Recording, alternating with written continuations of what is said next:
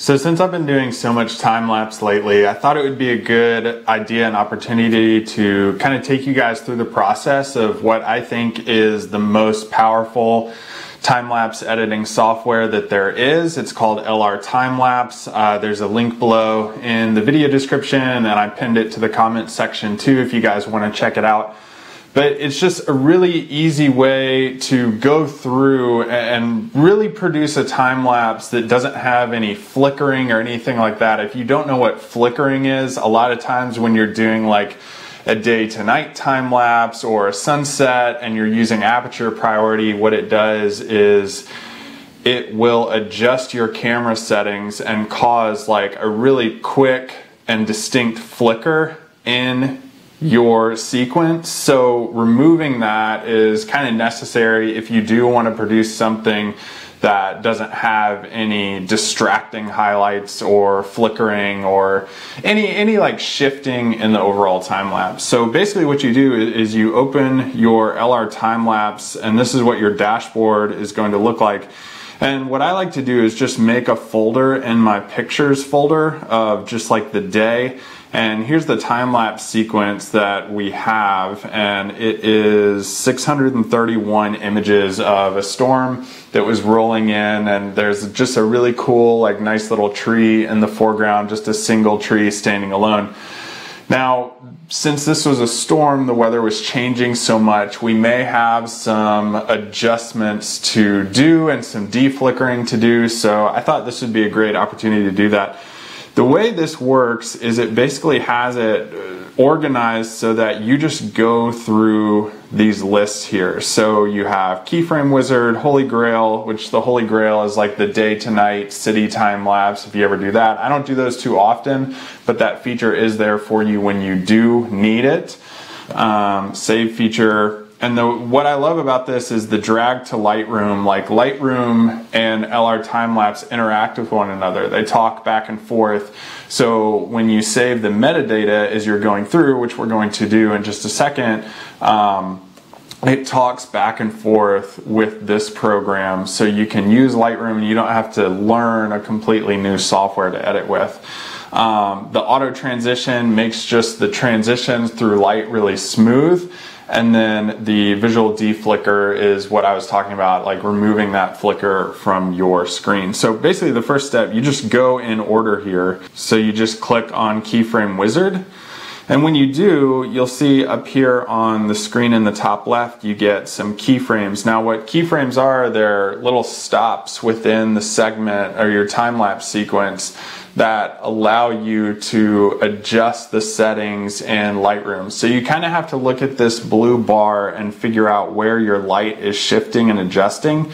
So with this one specifically, I'm probably going to do five keyframes just to be sure I get the right light um, because we do have, you know, it's a little bit over, a little bit over, and then it goes drops to under when the core of the storm started to move in. So we have adjusting light here. So I'm going to use five keyframes and I'm going to save that now that I have my keyframe set and it's going to pick out those five frames for me when I do pull this over into Lightroom. So once those are done, I'm going to click and hold this and I'm just going to drag it into my Lightroom library and it'll start importing those images in. Now, if you know, like with time lapse, since we're dealing with 631 images, it may take a little long for these to import and come in.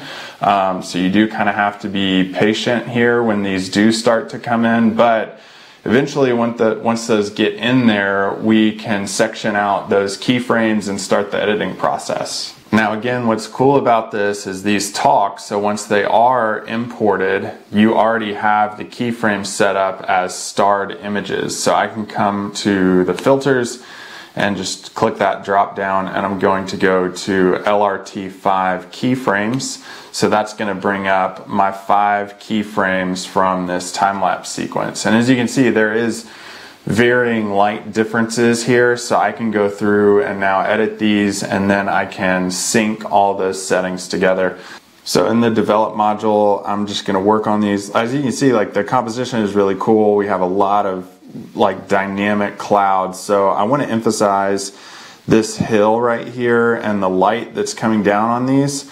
Um, so I'm going to work with the dynamic clouds and a lot of the light that's going on in the foreground because it is pretty dramatic here. So just going to adjust these frame by frame. I don't have to go crazy here with it. Uh, we'll lift the shadows a little bit, decrease my whites, decrease the blacks some bring up the clarity a little bit too. You know, these are really just generic edits. I don't think like you guys have to watch everything I do in the edits because you know how to use Lightroom, you know how to do all this. So I'm just gonna quickly go through these edits together and then I'll show you how to use LR time lapse to sync these up. I do want to say too, this isn't a sponsored video or anything like that.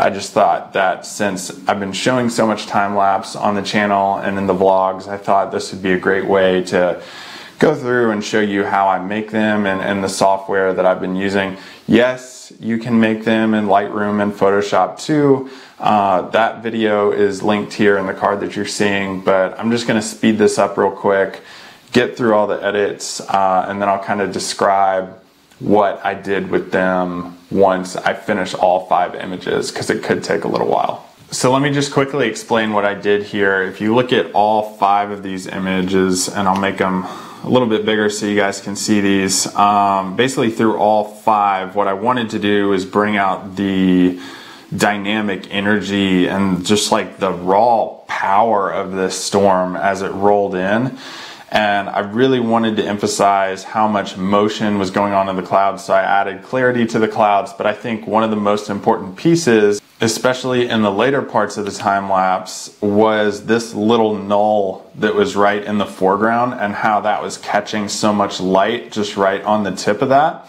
And then you had shadowing going on around it if I go to like the next one, I think it's important to see just this tiny clip of green light no matter how small it is, I think that just like needs to be there to make that tiny bit of foreground dynamic. So I think that's like why I wanted to do that. So what I'm going to do now is when I'm in the library section, after I've edited each one of um, these keyframes, what I'm going to do is select the first one, hold down my shift key and select the last one, and then I'm going to go to metadata, and I'm going to go to save metadata to files.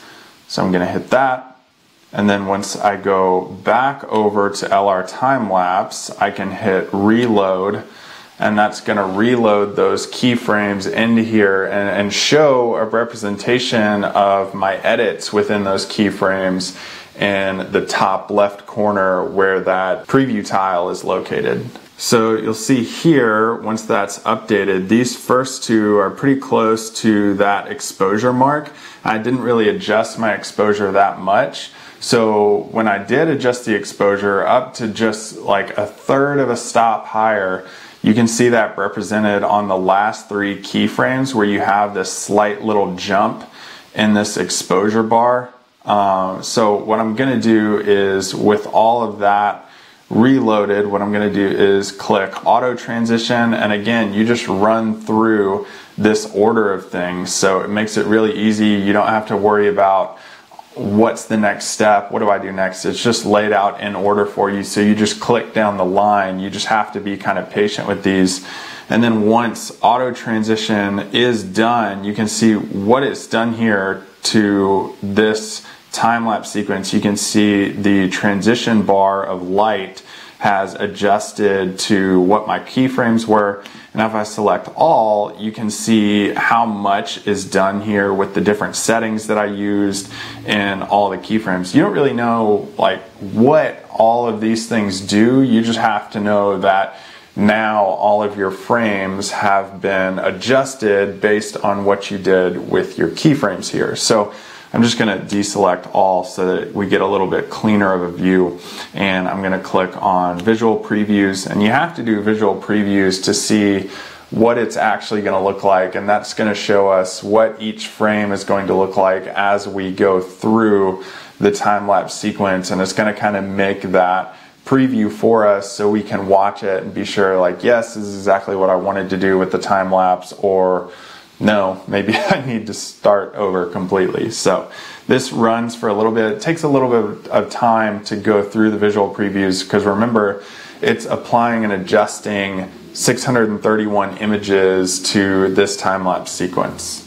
So once you see when this is finally done, the pink bar is going to be like the smoothness and the visual previews of it. So you can just scroll through this bar and basically see like generally what it's going to look like from start to finish. Although I don't think you ever get like a really clear idea because it is such a big file and there are so many things to go through. But um, it just gives you a good idea of how much ease there is in the transition as you go through that time lapse, as there was huge variation in light as we shot for, I don't know, 30 minutes or so.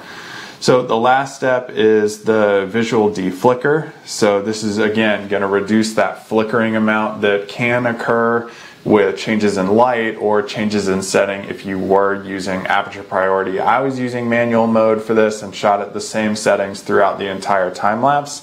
However, I always like to click visual deflicker and just be sure that that's smooth all the way through. So if you click it, you get this green line that comes up behind the pink line and you can use this slider to adjust how smooth you want that to be. So just like generally anywhere between 0 and 10, you know, with a default accuracy is good. I think that's probably going to be fine since I was just using manual mode. Uh, hit apply and that's going to apply those settings throughout the entire time lapse. Once that part is done, you move on to exporting. Again, this takes a long time because you're dealing with 631 files or however many images that you shot in the field. So be patient. That last step took like 16 minutes in between the uh, auto transition and visual previews. So this is going to take a long time too. So just be patient as you wait. Go through emails, make some coffee, do whatever you do. So once that's finally done, we move on to the exporting section. Now to do this, you have to jump back over into Lightroom. So here we are back in Lightroom. We have this pulled up. What I'm gonna do is instead of having the keyframe selected, I'm gonna go to LRT5 full sequence and with that pulled up, what I'm going to do is do Control or Command A to select all of these. And the reason I'm doing this is you'll notice this little exclamation point because the metadata has a conflict here. So we need to read the metadata from the files that we adjusted in LR time lapse. To do this, you go to Metadata and you go to read metadata from files. And this is going to update all of that metadata that we adjusted in LR timelapse so then we can export this as a sequence in Lightroom. Once the metadata is updated you can go to export. Down here in the bottom left corner just hit that. And once your export window comes up what you're going to do is select out uh, which one of these of the LR time lapse export features that you want to use. You can do 4K, uh, JPEG, you can do TIFF, 16 bits. Uh, I like to do the highest rated one because I never know if I want to export this and save it and put it in a video that's either like 4K or 8K. Maybe I want to move it around within the final video that I do produce. So I always do the TIFF 16 bit. So now I have that selected. This is TIFF LRT Pro, 16-bit, and original resolution. I just don't like to compress things down. And the Pro version of LR Timelapse gives me the most options of having the most fine detail within the export that I absolutely want and can have. Then all you have to do is hit export and wait another lengthy period of time because we are using again over 600 images. So shot with an A7R2. So these are 48 megapixel images that it's exporting out. So it may take a lengthy amount of time when I do hit export and this starts. once the export finishes, it's going to notify LR Timelapse that it's ready to render the video, and then we can pick up there once this hits that point. Okay, so I'm not even joking, that literally took an hour and a half to export, but it's finally up in LR time lapse. as you can see on my screen. This notification window just pops up once it's done exporting from Lightroom. So once we're in here, we really export that video file that it's taking all of the image files from. So it's using that folder that we just exported with the image files to now create a video file. So looking at this, we can look at frame rate. I mean, 24 frames per second is basically how we see the world in our eyes. So I always keep it on 24 frames per second. If it's a really long time lapse and things are moving around a little slowly within the frame, you can speed that up to something like a 60 frames per second and get a little bit faster movement, but I typically stay in 24 frames per second. Um, 4K UHD is typically what I will export this as um, just because I want that file size to be pretty big and 4K UHD allows me to do that. It gives me some wiggle room in file size and just how big that canvas size is for the exported video file. And force output, um, we're just keeping it in a 16 by 9. It sets it in that 4K UHD framework.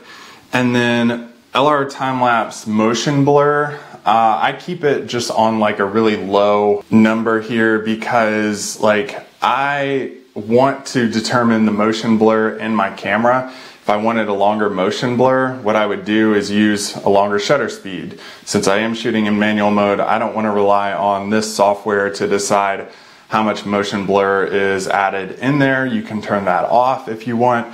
In fact, that's probably what I will do for this one.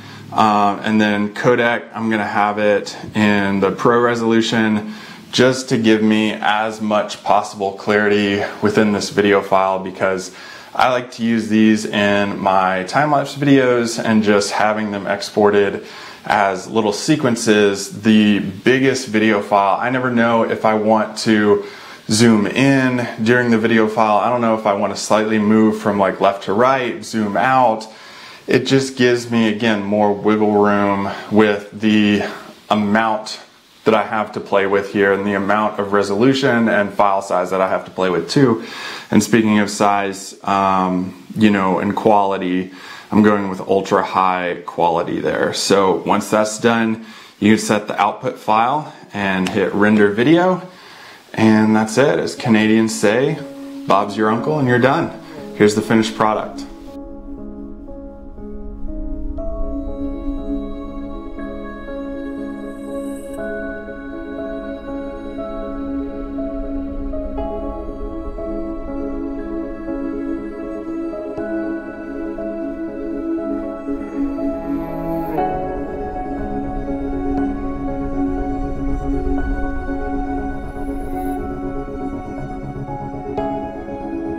So that's it. That's how I edit my time-lapse sequences. It's pretty easy and straightforward. It just takes some patience and a little bit of time and kind of understanding the ins and out of using LR time-lapse and Lightroom in sync with one another. I think it's a great program. Again, this isn't sponsored, but if you want to check it out, I did pin that link to the comments section below and it's also in the video description below too. If you want to get out and try time lapse, I highly recommend LR time lapse, especially if you are doing those holy grail day to night sequences or shooting in unpredictable light situations that may cause some flickering or if you like to shoot in aperture priority. I want to thank you for watching this video sincerely. Um, it means a lot to me that you watch these, so I hope this really helped you out. I hope it can make your time-lapse sequences that much better. And if you wouldn't mind subscribing to the channel, ringing the bell, uh, dropping me a comment and letting me know, you know, what you liked about it. If you do shoot time lapses, I think that would be fun to get comments going down there too. Hit the like button, all those good things. Uh, appreciate y'all. And again, thanks for watching.